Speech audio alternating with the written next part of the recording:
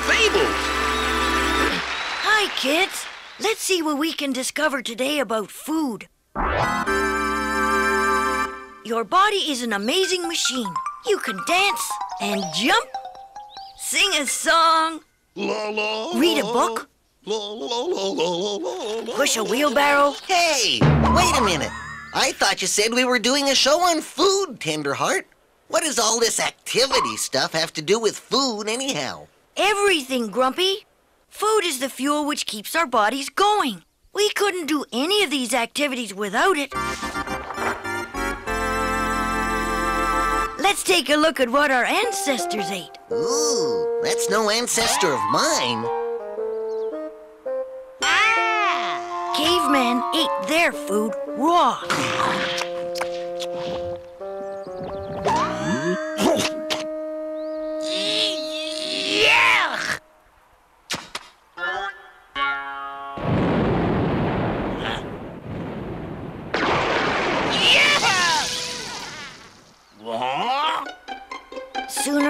Sooner or later, someone figured out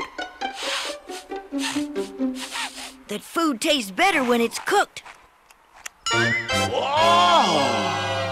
We take you now live to the Forest of Feelings, where we join Swiftheart Rabbit in her rabbit hole. Hello, Tenderheart.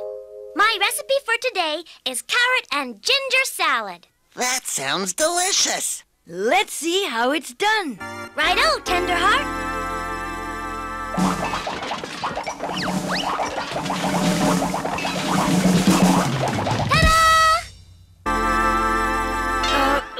Great, Swiftheart. Can you play that back in slow motion, please? Righto, Tenderheart.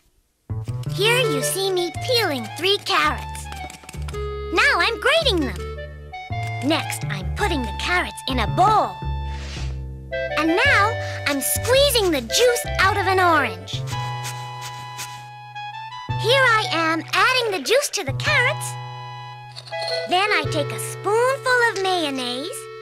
I put that in the bowl along with about half a box of seedless raisins a dash of powdered ginger, and a pinch of salt. Here you see me mix everything well. And top it off with a dollop of marmalade and a piece of candied ginger. Like so. Fantastic, Swiftheart. Could we see that again in normal time? Righto, Grumpy. Amazing. Ta-da! Thank you very much, Swiftheart Rabbit. You're very welcome. Like some? How did you... Try it. You'll like it. Mmm, not bad. Mmm, yum. Have you ever wondered how something as simple as the sandwich was first created? Back in the days of Old England, the Earl of Sandwich was playing the latest board game with some of his friends. I say, pardon me while I gather us some nourishment. Oh, that Earl. He's an absolute genius in the kitchen. Oh, uh, honey, a sweetie pie, sugar plum. Knock it off, Earl. What do you want? The, uh, gang and I are uh, a bit hungry and, uh, And you want me to fix something up, right? well, I, uh, Oh, all right. You're so helpless in the kitchen, Earl. Now, let's see what we can whip up. How about a couple of slices of bread? Some butter? A bit of lettuce? Yes, that sounds right. Some sausage, maybe, Oh, what are you making? I'm not sure, some tomatoes, a bit of mayonnaise, a pickle, and that's it. What is it? Well, it's a, it's a, it's a sandwich. Oh, And that's how the sandwich was invented. Or is it quiche? Okay, Grumpy. What do you think our little cave person is painting? Maybe it's one of those huge wild animals he and his fellow cave persons hunted for food. Tenderheart? That's a barbecue. He painted a barbecue. For a moment there, I thought that this was a serious educational program.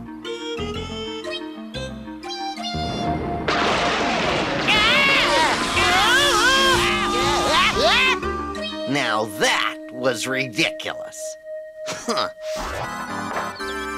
hi, kids. It's me, Braveheart Lion, in a peanut suit. Hope I don't get sued. Anyways, the reason I'm wearing this here peanut disguise is 'cause I'm gonna sing to y'all about how to make peanut butter balls. Pretty cute idea, huh?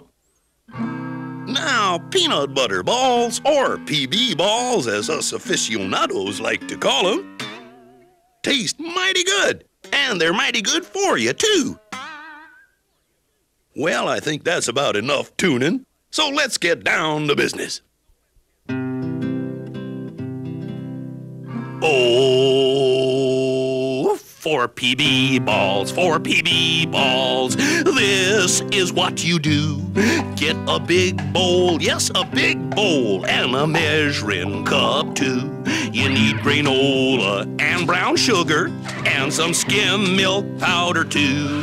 Raisin sesame seeds or dried coconut, and of course, the PB2. Take one cup granola, that's 250 milliliters, and you put it in the bowl. Add the same amount of skim milk powder and put it in there too. Then get your raisins and brown sugar, measure half a cup of each. That's 125 milliliters for you metric folk. And then you dump 'em in the bowlie, and then in with your hands you reach. Uh, mix 'em all up, mix 'em all up, so it all looks just the same. When it looks like chunky white stuff, you know you've mixed it up enough. Bet you'd never guess I'm just making this song up as I go along, huh? How does he do it? Oh, take the peanut, take the peanut, take the peanut butter out. Fill two cups, that's 500 milliliters. They'll have fun trying to get it out. And then you dump it, then you dump it, then you dump it in the bowl. And then you mix it with the white stuff. Homogeneity's your goal. Uh, That means you mix it till it all looks the same. And then you roll 'em into ballies about one inch in diameter. That's 2.5 centimeters, about the size of a ping pong ball. And then you roll 'em in sesame seeds or in toasted coconuts. Put 'em in the refrigerator. Now you have your PB balls. Oh, yeah. Well, there you go, partners. Now you know how to make 'em. Of course, they don't really have those cute little faces on on 'em.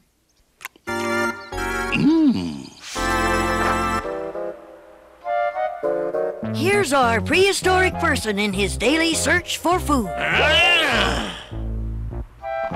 I see he's decided to go vegetarian today. Ah,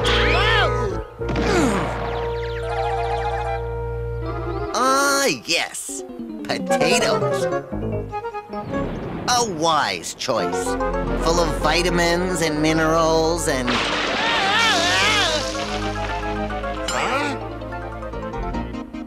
Hmm. I think he's got something there.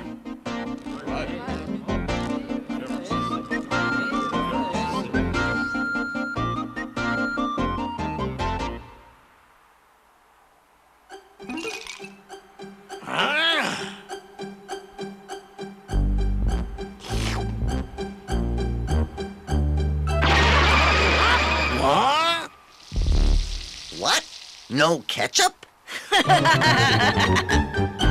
Well, Grumpy, how did you like our look at food facts and fables? Well, it was fun, but I still don't see how food keeps me going. You don't?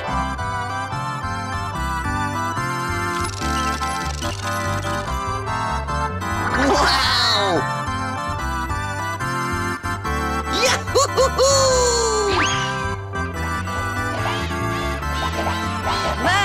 Looks like Grumpy understands how food gets him going after all. Good night, folks.